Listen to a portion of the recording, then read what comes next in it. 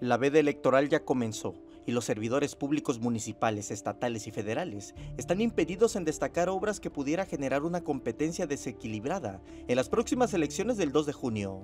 La veda electoral, eh, digamos que está enfocada justamente a evitar la difusión de logros de gobierno es decir, eh, sí evitar hacer declaraciones en donde se, promueva alguna obra, algún resultado de gobierno durante la gestión, efectivamente.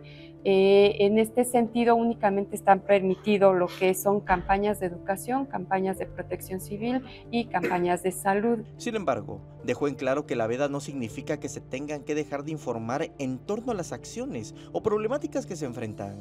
Como veda electoral para funcionariados, sí, está prohibido en general hacer eh, del conocimiento logros de gobierno, pero también habría que decir que no, esto no quiere decir que no haya cobertura mediática de informar a la ciudadanía de lo que se está realizando. La consejera presidenta del INE hizo un llamado para que los funcionarios gubernamentales eviten realizar acciones de posicionamiento desde ahora y hasta el 2 de junio. Simplemente hay que cuidar que no se posicione como un logro de gobierno de un funcionario público en particular.